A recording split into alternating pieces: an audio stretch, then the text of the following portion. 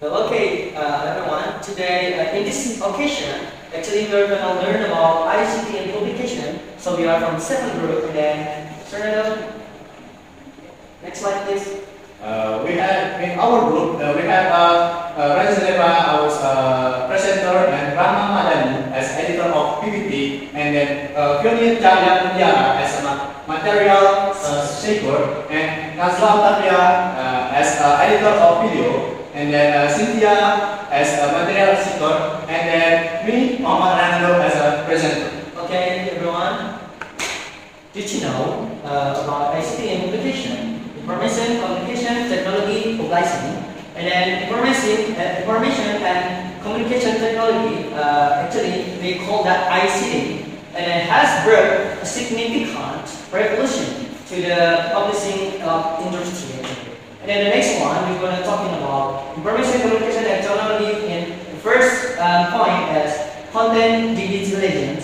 And then the second one, electronic publishing. And then the third one is going to be digital content management. And then the fourth one, next one, please. Is going to be digital marketing and promotion. And then the fourth one, fifth one, online distribution and sales. And then the uh, sixth one, copyright protection and DRM. Surrender. And the eighth uh, point is uh, interacti- interactivity and multimedia. And then uh, the next is uh, and mobility. And the ninth uh, material is data analysis and me- measurement. And the last uh, point is digital progression and workflows.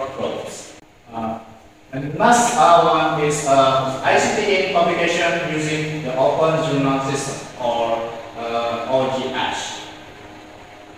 In the Open Journal System, OJS, there uh, number one is Open Source Online Journal Management System.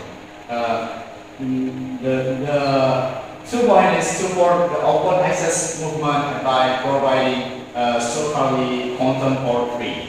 So uh, the three is uh, and the complete editorial workflow from uh, submission to publication.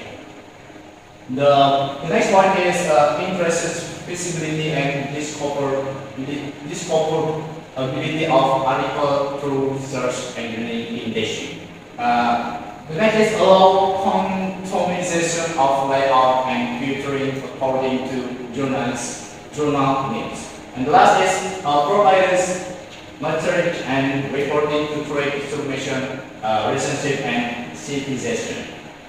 Yes.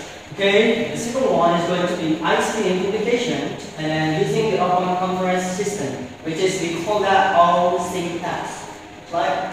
Okay, in conference, uh, in uh, open conference system, actually, now we have so many six points inside it, included. And then the first one going to be open source online conference management system, and then the second one is facilitates the entire conference life cycle management from paper submission to proceedings publication. And then the third one going to be provides feature for scheduling, room assessment, and then session tracking. The fourth one manage participant registration and user information. Third one, the tip one to be super the publication of conference proceedings either as a straight volume as part of journal business. And then the sixth one, the last one of the open conference system, which is it is uh, integrates with OJS for proceeding publication within the journal alert. And then, well, that's it for our occasion today. We'll, we are from the seventh group, and then we are from the uh, as a as a presenter, and then so like to say thank you, and we like to say apologize to all of you if, we have a mistake from our uh, delivery to our material today. So I'm very celebrated with my friends Noah and.